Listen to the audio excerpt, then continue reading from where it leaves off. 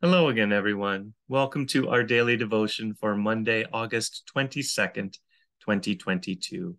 Thank you so much for spending this time with me in God's Word today, as together we grow in our faith and in our knowledge of Jesus Christ as our Savior. Yesterday, we saw that Ahithophel and Hushai gave Absalom conflicting advice on how to uh, defeat David's men when Ahithophel saw that his plan was not accepted by Absalom, he knew that Absalom's rebellion was doomed for defeat. And so that's why he went home and hanged himself because he knew that his future was most definitely going to go toward him being tried and then probably executed for treason against David once David's men defeated Absalom's men. Well, today we're going to see that Ahithophel was correct in his assessment. Um, Absalom's men are indeed going to be defeated by David and his men. And in the process, Absalom himself is going to be killed.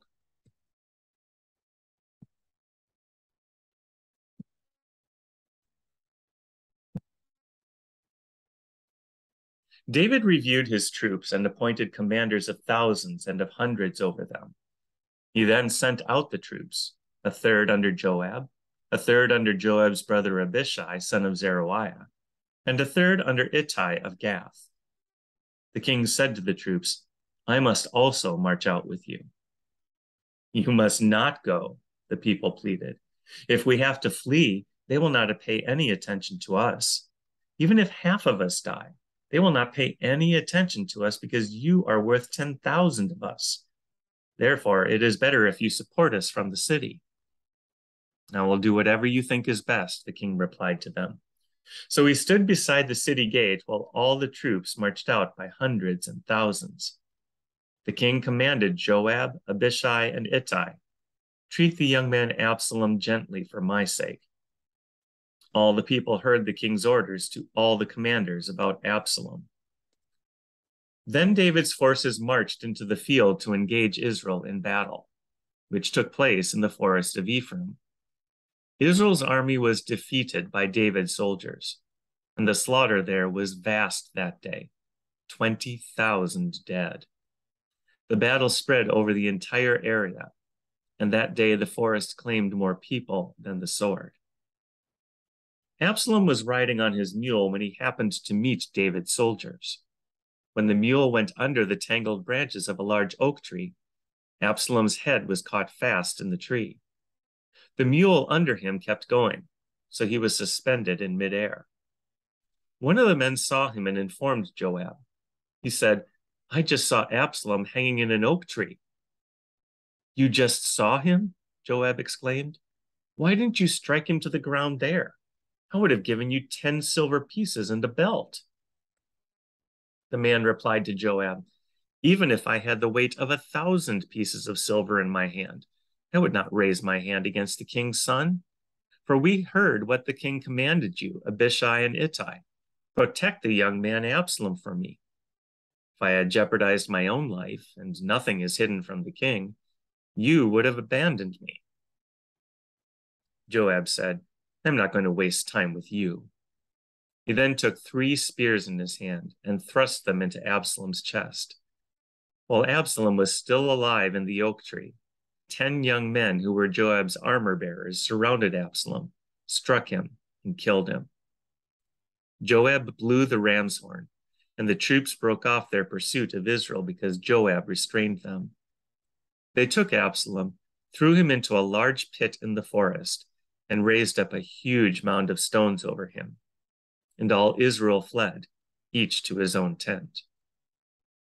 When he was alive, Absalom had taken a pillar and raised it up for himself in the king's valley, since he thought, I have no son to preserve the memory of my name.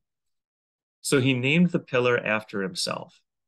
It is still called Absalom's monument today. Ahimaaz, son of Zadok, said, Please let me run and tell the king the good news that the Lord has vindicated him by freeing him from his enemies.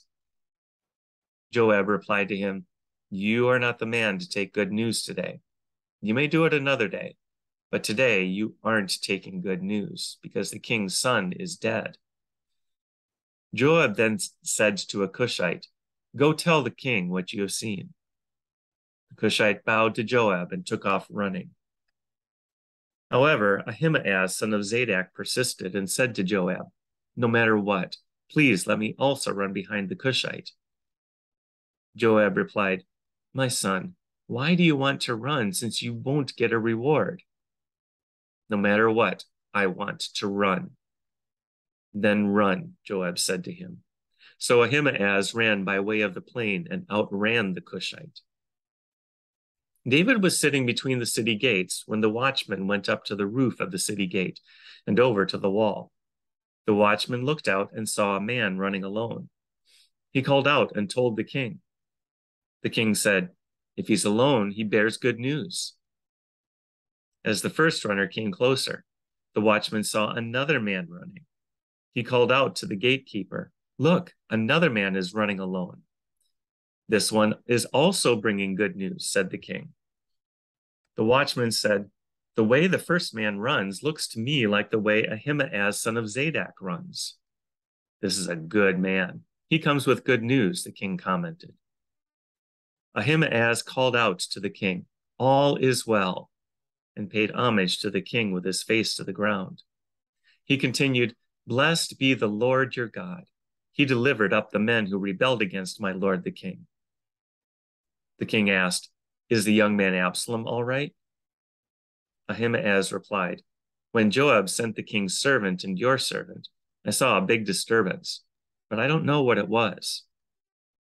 The king said, Move aside and stand here. So he stood to one side. Just then the Cushite came and said, May my lord the king hear the good news. The Lord has vindicated you today by freeing you from all who rise up against you. The king asked the Cushite, Is the young man Absalom all right? The Cushite replied, I wish that the enemies of my lord the king, along with all who rise up against you with evil intent, would become like that young man. King was deeply moved and went up to the chamber above the city gate and wept. As he walked, he cried, My son Absalom, my son, my son Absalom. If only I had died instead of you, Absalom, my son, my son.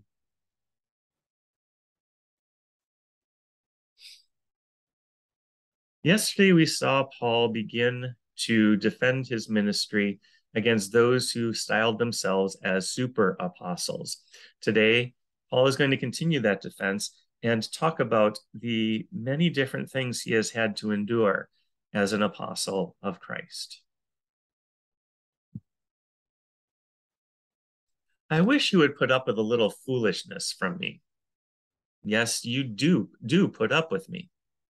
For I am jealous for you with a godly jealousy, because I have promised you in marriage to one husband, to present a pure virgin to Christ. But I fear that, as the serpent deceived Eve by his cunning, your minds may be seduced from a sincere and pure devotion to Christ. For if a person comes and preaches another Jesus, whom we did not preach, or you receive a different spirit which you had not received, or a different gospel which you had not accepted, you put up with it splendidly. Now I consider myself in no way inferior to those super apostles. Even if I am untrained in public speaking, I am certainly not untrained in knowledge. Indeed, we have in every way made that clear to you in everything. Or did I commit a sin by humbling myself so that you might be exalted? because I preached the gospel of God to you for free of charge. I robbed other churches by taking pay from them to minister to you. When I was present with you and in need, I did not burden anyone, since the brothers who came from Macedonia supplied my needs. I have kept myself and will keep myself from burdening, burdening you in any way. As the truth of Christ is in me, this boasting of mine will not be stopped in the regions of Achaia. Why? Because I don't love you? God knows I do. But I will continue to do what I am doing in order to deny an opportunity to those who want to be regarded as our equals in what they boast about. For such people are false apostles, deceitful workers, disguising themselves as apostles of Christ. And no wonder, for Satan disguises himself as an angel of light. So it is no great surprise if his servants also disguise themselves as servants of righteousness. Their end will be according to their works. I repeat, let no one consider me a fool. But if you do, at least accept me as a fool, so that I can also boast a little.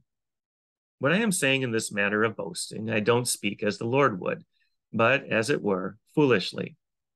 Since many boast according to the flesh, I will also boast. For you, being so wise, gladly put up with fools. In fact, you put up with it if someone enslaves you, if someone exploits you, if someone takes advantage of you, if someone is arrogant toward you, if someone slaps you in the face. I say this to our shame. We have been too weak for that.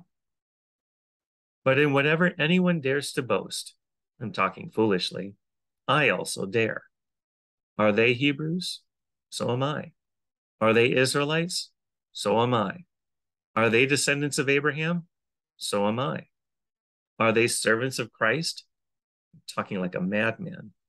I'm a better one, with far more labors, many more imprisonments, far worse beatings, many times near death.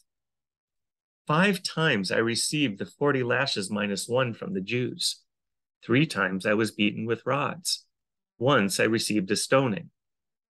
Three times I was shipwrecked. I have spent a night and a day in the open sea. On frequent journeys, I faced dangers from rivers, dangers from robbers, dangers from my own people, dangers from Gentiles, dangers in the city, dangers in the wilderness, dangers at sea, and dangers among false brothers. Toil and hardship, many sleepless nights, hunger and thirst, often without food, cold and without clothing. Not to mention other things, there is the daily pressure on me, my concern for all the churches. Who is weak and I am not weak? Who is made to stumble and I do not burn with indignation? If boasting is necessary, I will boast about my weaknesses. The God and Father of the Lord Jesus, who is blessed forever, knows I am not lying. In Damascus, a ruler under King Aretas guarded the city of Damascus in order to arrest me. So I was let down in a basket through a window in the wall and escaped from his hands. And now the Lord bless you and keep you. The Lord make his face shine on you and be gracious to you. The Lord look upon you with his favor and give you peace. Amen. Thank you so much for spending this time with me in God's Word today. May the Lord richly bless your day. Now look forward to seeing you again tomorrow.